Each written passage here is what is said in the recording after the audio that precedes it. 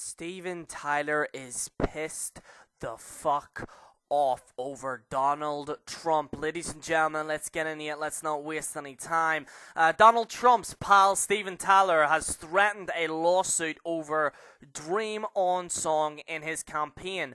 One of Donald Trump's celebrity pals is pissed at him. Uh, legally speaking, away, uh, Steven Tyler is threatening to sue Trump uh, if he gets if he keeps using the Aerosmith song "Dream On" during campaign rallies. Um, according to Tyler's angry uh, and desist letter, uh, this is actually the second time Trump has been warned about using Aerosmith's classic ballad.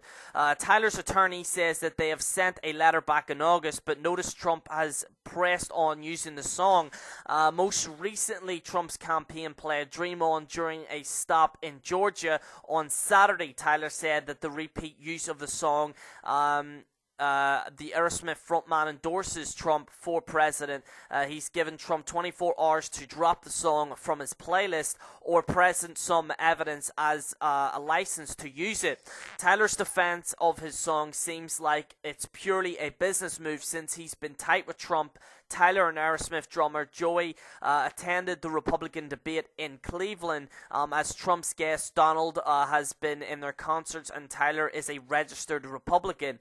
Tyler's attorney uh, confirms it's not about politics, she says. TMZ's Tyler's position has always been consistent, regularly copyright and an, an, an, intentional um, property. Simply, one must get permission from the music creator. Stephen wrote 100% of Dream On, and this is about the unauthorized use of the song. Um, it, it is just about capitalism. You'd think Trump would understand uh, Tyler's stance. So, um, obviously it's not about a political agenda. Um, some people were saying that that, that Tyler was just like, oh well, I, I don't, you know, I don't agree with Donald Trump or whatever. He is a registered Republican. Um, he is best friends with Donald Trump. This all really boils down to um.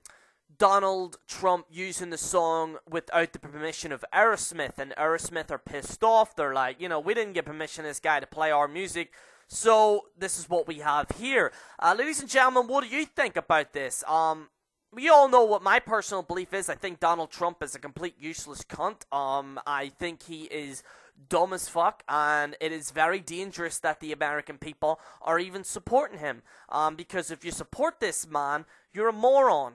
Uh, Donald Trump is it's not even like it. I was looking at the South Park sketch, and they said like everyone was joking around about it was uh, it was a parody, and it was like the um, South Park. Uh, the the Canadian Prime Minister, and they said, "Oh, you know, we're always joking." They were joking about this celebrity, um, and they says, "Okay, who who are we gonna finally make as Prime Minister?" And then, lo and behold, the last minute they realized that they elected the guy.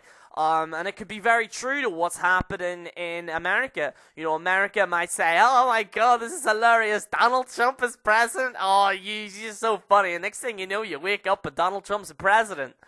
Um, so uh, uh, the American people are playing a very dangerous game. Um, it's very dangerous because you know, flirting with this type of thing is is you know, the end of the day, you know yeah, you have a politician, but Donald Trump, and some people may say, well, he's a billionaire, he's this, he's that, he's an entrepreneur, yeah, but he went bankrupt a few times.